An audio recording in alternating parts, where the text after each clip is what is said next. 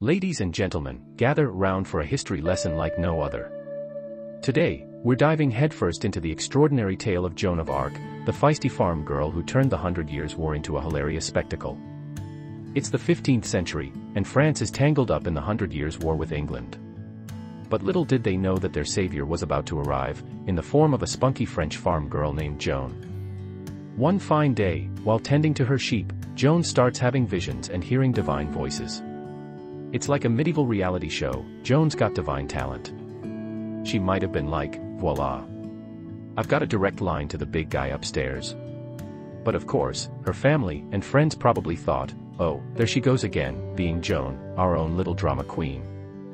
Nevertheless, our determined damsel marches off to the royal court and bursts in with confidence and flair. Hey there, Chuck. The heavens are calling, and I'm your ticket to victory. Let's kick some English tushies. Are you sure about this? You don't even have a helmet. Helmets are overrated. Trust me. Is she for real? Well, why not give it a shot? It can't be worse than that time. I tried to wear skinny trousers. Surprisingly enough, Charles gives in and thinks, what's the worst that could happen? And off she goes, charging into battles like a caffeinated bull, wielding a sword with the grace of a ballerina, or maybe more like a whirlwind on steroids. She shouts, for France. For glory. And because the voices in my head told me so.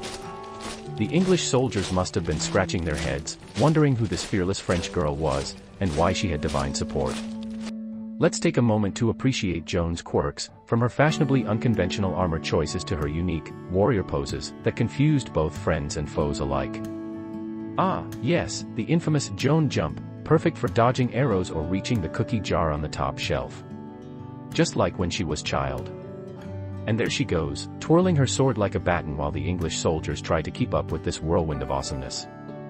Alas, all good things must come to an end. After several victories, Joan was finally captured by the English. They were probably thinking, well, well, well, look who we've got here, the legendary Joan of Arc. Not so tough now, are you? But Joan wouldn't back down, she stayed defiant and true to her visions, even in the face of their jeers. You think you're some kind of chosen one?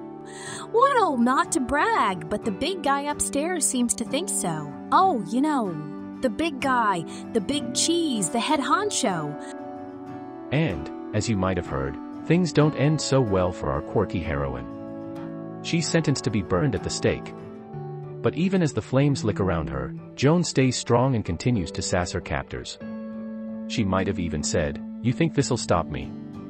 I'll be back, baby, like a phoenix rising from the ashes. Guess I'm a real hotshot now, huh? Did she just make a pun at a time like this? Well, they do say laughter is the best medicine. And there you have it, the tale of Joan of Arc, the farm girl turned warrior, the divinely guided drama queen, and the one who proved that audacity and self-belief can change the course of history. Joan's legacy lives on as an inspiration to many. Some say she even inspired a certain modern-day superhero with a penchant for wearing unusual headgear. Thank you for joining us on this hilarious escapade through history. If you enjoyed this quirky journey, don't forget to like, subscribe, and hit that notification bell for more quirky historical tales.